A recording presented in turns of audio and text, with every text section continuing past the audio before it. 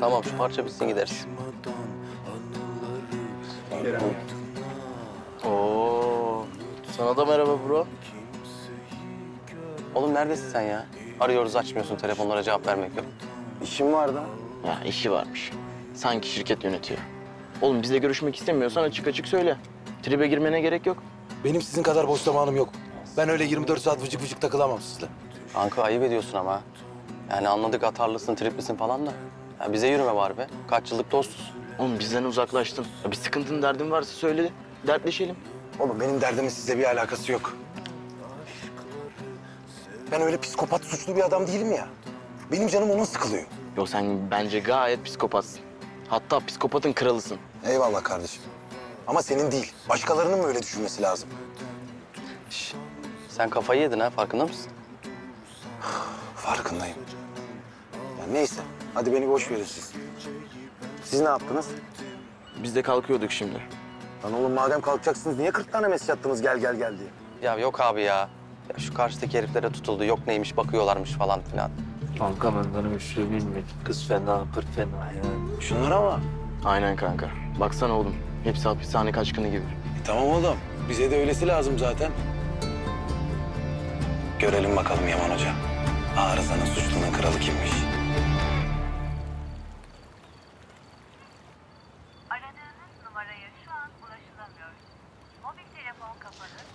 Ne oldu? Ulaşamadın mı Kerem'e? Tamam halacığım. Anahtarım var değil mi? Tamam görüşürüz. Kimmiş? Kerem mi? Ne diyor? Neredeymiş? Tamam telaş yapma anne. Mete ile beraber Kayhan'ın yanına gitmiş. Geç kalmam diyor. Ay çok şükür. Haber alamasaydım gece gözüm uyku girinecekti. Merak etme hadi git yat sen. Ben zaten çalışacağım biraz. İyi, hadi iyi geceler kızım. İyi geceler anneciğim.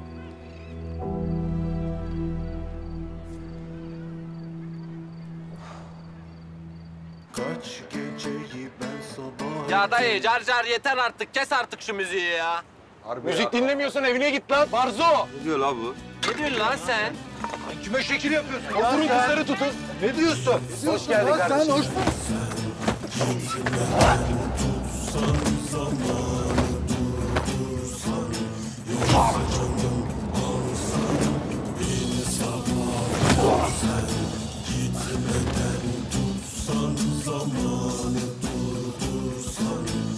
lan.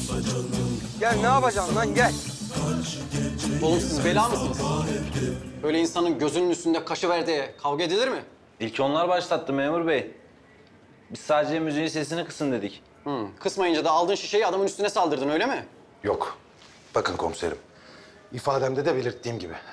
ilk yumruğu ben attım. Onlar sadece kendilerini savundular. Arkadaşlarımın zaten hiçbir suçu yok. Onlar sadece kavgayı ayırmaya çalıştılar. Değil mi birader? Aynen komiserim. Onların hiçbir suçu yok. Sadece ayırmaya çalıştılar. İyi madem öyle. Siz gelin şu ifadelerinizi imzalayın. Gidebilirsiniz.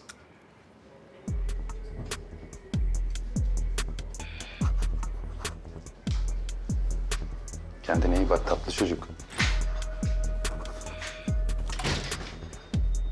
Kendine iyi bak sarı şeker. Görüşürüz. Sen de serbestsin. Ama bak bir daha böyle bir mevzuyla karşıma gelirsen tıkarım seni içeri. Anlaşıldı mı? Anladım komiserim. En barzoları sen. Siz de gidebilirsiniz. Komiserim. Kerem çıkabilecek mi? Hayır. Kerem bu gece misafirimiz olacak. Böyle ortalık yerde olay çıkartıp insanların kafasını gözünü kırıp sonra da elini kolunu sallayarak gezemeyeceğini bir öğrensin bakalım. Beyler, siz de kızları evlerine bırakın. Perişan oldular. Bak, bizimkiler ararsa da sakın açmayın. Ben halledeceğim. Yok öyle ailem duymasın falan. Sen şimdi bir yakınının adını soyadını bir de telefon numarasını ver bakalım. Tabii. Yaman Günü Altay.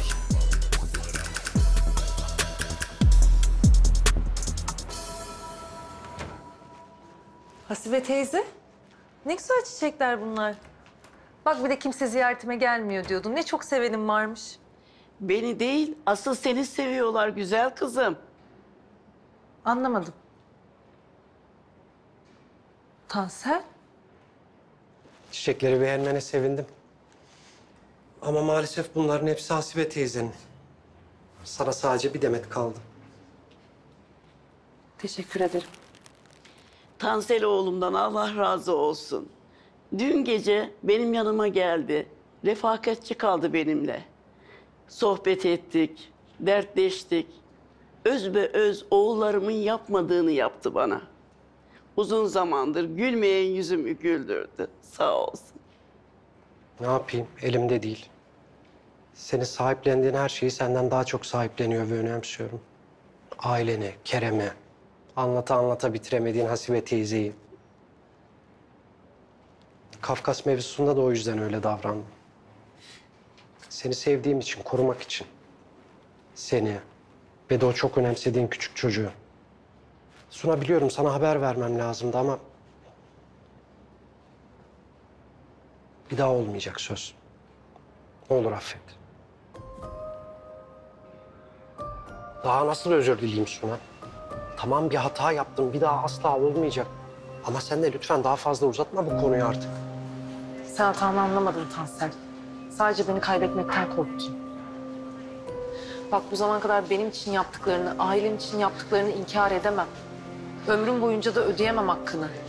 Ama bu durum başka. Başka değil Suna. Ben bugüne kadar ne yaptıysam tek bir gerekçem var, o da sana olan aşkım. Bana olan aşkın mahkemeleri yanıltma hakkını vermez sana.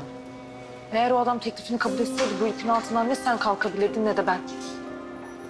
Tamam. Bu durumu nasıl düzeltebilirim? Sen söyle, söyler misin bana?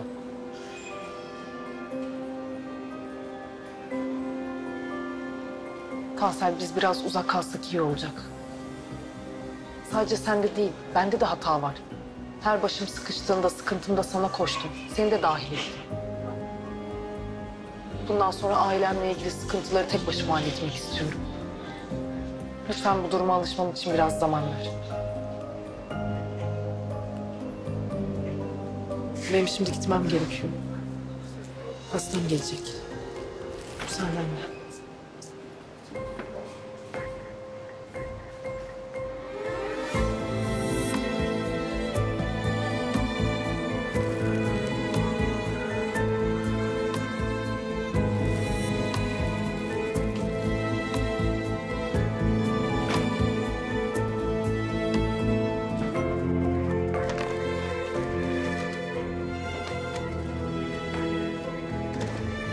Yaman hocam. Geleceğinizi biliyordum.